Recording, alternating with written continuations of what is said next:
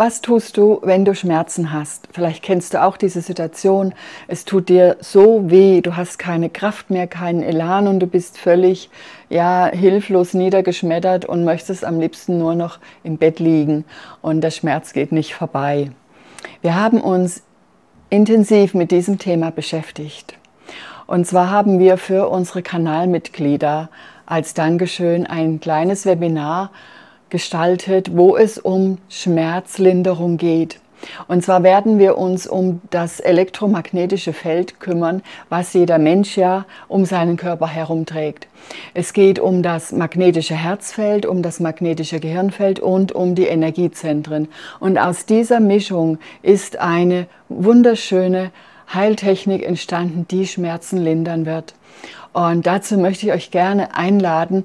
Ich werde im Community-Tab schreiben, wann das Datum ist mit der Uhrzeit, damit ihr dann auch live dabei sein könnt. Ich freue mich schon sehr auf euch. Alles Liebe.